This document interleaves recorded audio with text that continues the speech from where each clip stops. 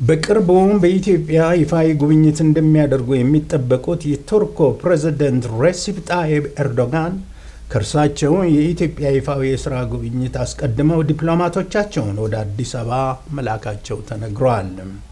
የፕሬዝደንቱ መልእክተኞች የሰሜን ኢትዮጵያ ግጭትን ከማባባስ ይልቅ በተሻለ ሰላማዊ መፍትሄ እንዲመጣ የሚደረገውን ጥረት ያግዛሉ ነው የተባለው።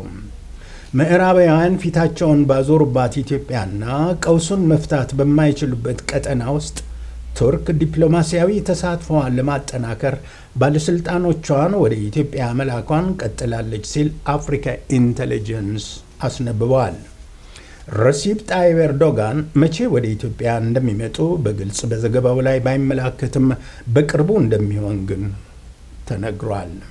አንካራ በአፍሪካ አህጉር ላይ ያላትን ተጽዕኖ የበለጠ ለማጠናከር የቱርክ የውጭ ጉዳይ ሚኒስትር ሜቭሉት ካቩሶግሉ በሚኒስቴር ውስጥ ከቅርብ ወራት ወዲህ በርካታ ጉብኝቶችን በማካሄድ ለውጦችን ለማምጣት ጥረት እያደረጉ ስለመሆኑም ተጠቁመዋል።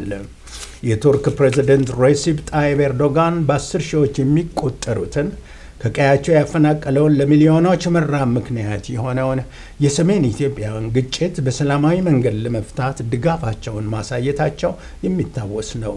ዘገባው ከአፍሪካ ኢንቴሊጀንስ የተገኘ ነው።